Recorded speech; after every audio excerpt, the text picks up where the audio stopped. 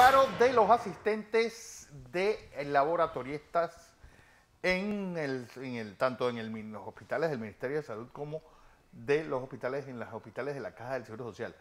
No son todos, pero ¿qué motiva este paro? Alexandro Gansi con nosotros. Doctor, bienvenido. Bueno, ante todo, pues muchas gracias por haberme invitado. Realmente es un placer estar aquí con ustedes. Sí, el motivo fundamental del paro es la aspiración de los asistentes de laboratorio a un cambio de clasificación de grado 3 a clasificación de grado 4. Ellos tuvieron unas negociaciones en el año 2015 como ente federativo adscrito a Conagreproxa y tanto su representante como el representante general de Conagreproxa firmó de que ellos estaban en el grado de clasificación 3. Sí. ¿Cuál es la diferencia principal entre el grado de clasificación 3 y el grado de clasificación 4? Son dos. Una, funciones. En el caso de ello, el manejo de fluidos podrían clasificarlo dentro del grado 4, pero hay otra cláusula que dice tres años de estudios universitarios Vale. exclusivamente. Y la mayor parte de ellos.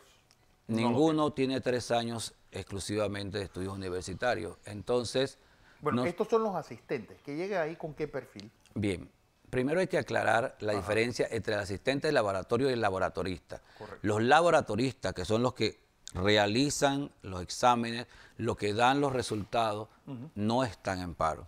No. O sea, son los asistentes de ellos los que están en paro. Sus funciones básicamente son el tema de la flebotomía, tomar la sangre, que también lo pueden realizar los laboratoristas y en los casos de los hospitales grandes también lo hacen los médicos internos Claro. eh, el manejo de los fluidos hasta que llegan al laboratorio. Una vez en el laboratorio, algunos procedimientos básicos antes de que lo vea el laboratorista. Funciones que pueden ser realizadas por un laboratorista o por cualquier otro técnico. eh, Por ejemplo, en los laboratorios privados, ellos hacen esas funciones. Sí, son las funciones, eh, vamos a llamarlas así, Básicas. básicas dentro de lo que es el sistema de laboratorio para poder utilizar entonces al licenciado, que es el laboratorista, en las funciones de diagnóstico, de, de sacar resultados, etcétera, etcétera, para nosotros. La gran pregunta es, bueno, ¿cuántos son en el sistema público de salud? ¿Cuántos de ellos están en paro? ¿Y qué solución se está buscando? Eh, primero tenemos que estar claros, el servicio se mantiene. El servicio se ha mantenido en todas las instituciones de salud, tanto MINSA, Caja de Seguro Social y patronatos. O sea que la población puede ir al MINSA, Caja de Seguro Social y una cita, patronato, este, a hacerse su procedimiento.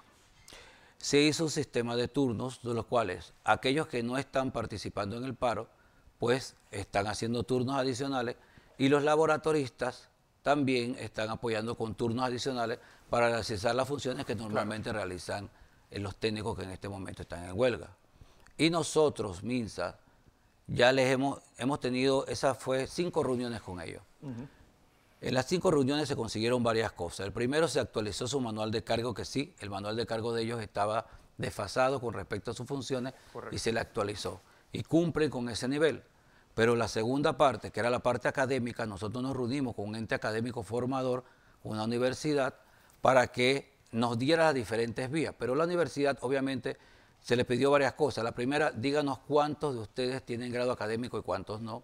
Vamos a hacer ese levantamiento y vamos a hacer diferentes propuestas dentro de la universidad que deben subir al consejo de, a- eh, académico, porque así se hace en la universidad y así lo hicimos todos los profesionales para cumplir con eso. Entonces, la solución va a que estas personas lleguen a tener los tres años de preparación académica. Sí, incluso la interpretación de los tres años la estamos buscando.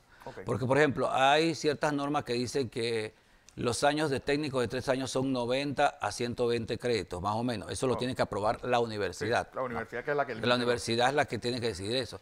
La Nosotros estamos buscando... Udelas. Bueno, la universidad, cuando yo hablo de universidad, hay cinco universidades autónomas. UDELAS es la que en este momento tiene el plan de estudio para ellos que debe adecuarse a lo que dice la norma de los tres años. Correcto. Pero también cualquier otra universidad lo puede realizar siempre y cuando cumpla con los requisitos que le da la ley. Y UDELAS es una de las universidades autónomas y rectoras del Estado. Ok, entonces, ¿ya ha habido un acercamiento con la dirigencia de, estos- de este grupo? Sí, nosotros tuvimos, esa era la quinta reunión. El MINSA tiene abiertas sus puertas al diálogo. La Caja de Seguro Social ha estado todo el tiempo con nosotros.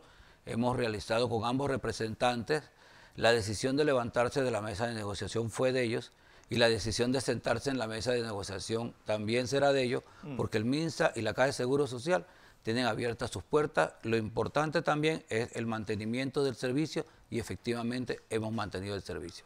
Bueno, eh, entonces eh, apelar al buen criterio de la dirigencia de los auxiliares de, laboratorio para que vuelvan a la mesa y se restablezca el servicio mientras se negocia. ¿no?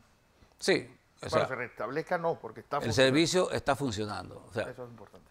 Y con los compañeros, eh, la intención nuestra es mejorar el pensum académico. Y le voy a poner un ejemplo simple. Yo soy médico especialista.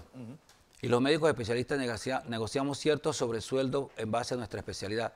Pero no todos los médicos especialistas, que son cerca de 4.000 a 5.000 médicos, quizás más, van a recibir ese beneficio. Solamente los médicos especialistas que pusieron sus papeles en la universidad, que fueron revisados y que la universidad los acreditó como maestros clínicos, son los que van a recibir ese... ese que me parece lógico. Y yo tengo 13 años de estudio universitario. Entonces, si a los, eh, los que han cursado estudios universitarios se les está exigiendo la academia, pues a los que no lo han cursado hay que darle las herramientas para que cumplan, porque lo importante es que se va a dar las herramientas para que se pueda cumplir y llegar a su grado 4. Así va a ser. El doctor Alessandro Gansi con nosotros.